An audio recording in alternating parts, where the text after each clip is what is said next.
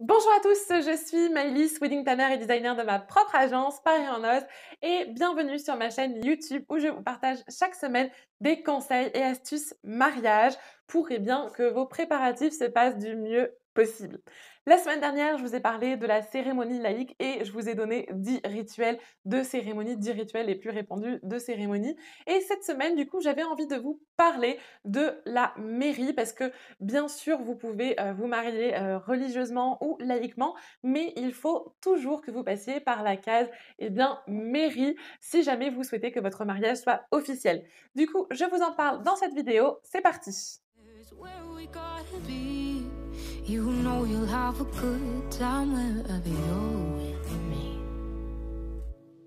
Alors, comme je vous disais, le mariage à la mairie est un passage obligatoire si vous voulez que votre mariage soit officiel et reconnu par la loi.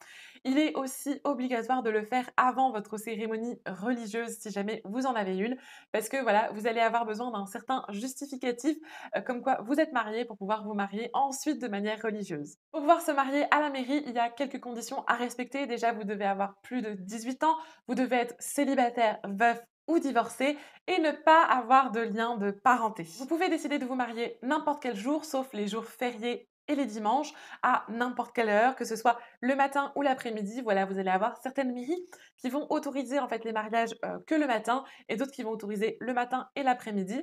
Après voilà, euh, l'horaire dépendra eh bien du moment où vous allez déposer votre dossier. Plus vous déposez votre dossier tôt et plus vous allez avoir le choix de l'horaire. Donc voilà, n'hésitez pas à déposer votre dossier tôt, même si le dossier que vous allez avoir à déposer peut être déposé au plus tard 10 jours avant.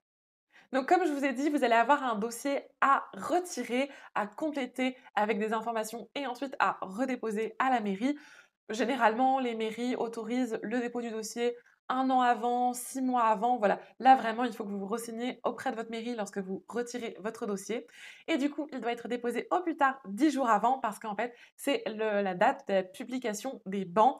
En fait, dix jours avant votre mariage, vous allez avoir la mairie qui va publier en fait votre mariage, qui va informer en fait la commune que vous allez vous unir. Et en fait, c'est fait dix jours avant, et eh bien pour que toutes les personnes de la mairie et les personnes souhaitant s'opposer à votre mariage puissent du coup prendre connaissance de votre mariage et s'opposer si jamais il y a besoin. Il est obligatoire de se marier dans la mairie où vous avez élu domicile où vous résidez, donc que ce soit de manière intermittente ou non, euh, depuis plus de 40 jours avant eh le jour J, avant euh, la publication des bancs, pardon.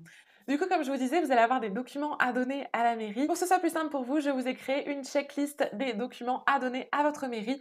Je vous mets le lien pour demander cette checklist en description, donc n'hésitez pas à aller voir. D'ailleurs, vous pouvez soit décider de faire votre mairie le jour J, euh, le matin ou juste avant votre cérémonie religieuse ou laïque, ou carrément un autre jour, que ce soit la veille ou une semaine avant. D'ailleurs, il y a beaucoup plus de mariés qui font ça. Vraiment, de, plus en plus de mariés décident de séparer. Voilà, comme ça, ils créent euh, deux événements euh, différents et en plus, ça permet vraiment d'alléger le jour J.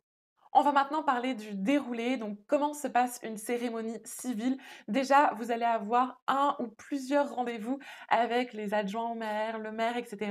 pour établir eh cette cérémonie. Et ensuite, le jour J, vous allez avoir un déroulé bien spécifique à tous les mariages civils. Donc déjà, pour l'entrée, vous avez plusieurs choix. Vous pouvez faire rentrer vos invités et ensuite rentrer ensemble ou euh, faire rentrer vos invités et rentrer séparément. Donc d'abord le marié et ensuite la mariée. Vous pouvez aussi rentrer d'abord et ensuite faire rentrer vos invités. Et du coup, généralement, euh, les mariés euh, s'assoient euh, tout devant au premier rang. Ensuite, vous avez les témoins. Ensuite, vous avez les parents, la famille, les proches, etc., etc. Une fois que tout le monde est installé, vous allez avoir l'entrée du maire. Là, généralement, il est de coutume que tout le monde se lève pour l'accueillir. Et après un mot d'accueil, le maire va procéder à la lecture du Code civil qui reprend en fait les droits et devoirs des époux. Il va y avoir ensuite une aparté sur le contrat de mariage si jamais vous en avez un, puis l'échange des consentements et si jamais vous souhaitez eh faire votre échange de bagues à ce moment-là, vous allez avoir l'échange d'alliances. Parfois, le maire fait un bref discours également pour parler des mariés, de leur personnalité, leur donner des conseils, etc. Et dans tous les cas, la mairie se termine, le mariage civil se termine par la signature des registres. Et voilà, c'était tout ce qu'il fallait savoir sur le mariage civil. N'hésitez pas à liker la vidéo et à mettre un petit commentaire. Déjà, d'une part, moi, ça me fait extrêmement plaisir de recevoir une petite notification comme quoi j'ai des nouveaux abonnements, des nouveaux likes ou des nouveaux commentaires. Et ça aide extrêmement la chaîne YouTube à se faire connaître par d'autres futurs mariés. Donc vraiment, n'hésitez pas. Je vous en remercie d'avance.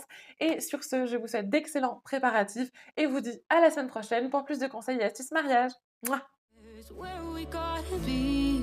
You know you'll have a good time wherever you're